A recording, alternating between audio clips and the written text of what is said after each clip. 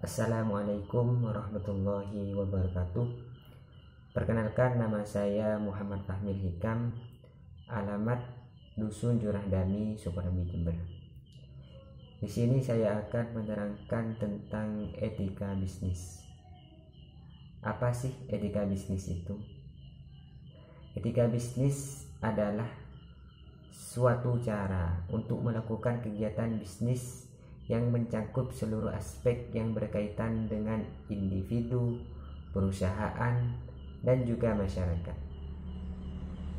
Etika bisnis dalam suatu perusahaan ini dapat membentuk sebuah nilai, di antaranya nilai norma dan perilaku karyawan, serta pimpinan dalam membangun hubungan yang adil dan sehat dengan pelanggan atau mitra kerjanya, pemegang saham, dan juga masyarakat. Ada dua macam etika yang harus kita pahami bersama dalam menentukan baik dan buruknya perilaku manusia. Yang pertama yaitu etika deskriptif. Etika deskriptif ini suatu etika yang bersifat meneropong.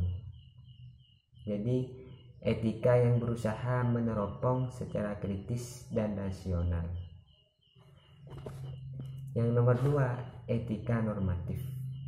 Etika normatif ini bersifat menetap, jadi menetapkan, yaitu etika yang berusaha menetapkan berbagai sikap dan pola yang seharusnya dimiliki oleh manusia dalam hidup ini sebagai suatu yang bernilai.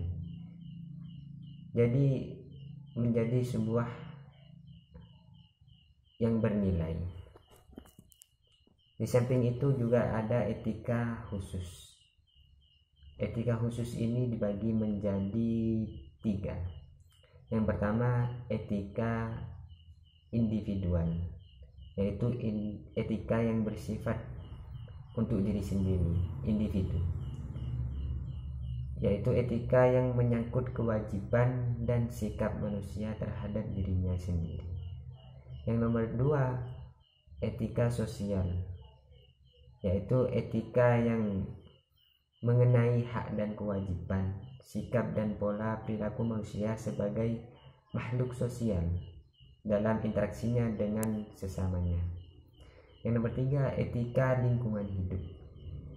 Etika lingkungan hidup ini menjelaskan tentang hubungan antara manusia dengan lingkungan sekitarnya dan juga antar sesama manusianya. Mungkin hanya ini yang bisa saya terangkan tentang etika bisnis. Kurang lebihnya saya mohon maaf yang sebesar-besarnya. Sekian dari saya. Assalamualaikum warahmatullahi wabarakatuh.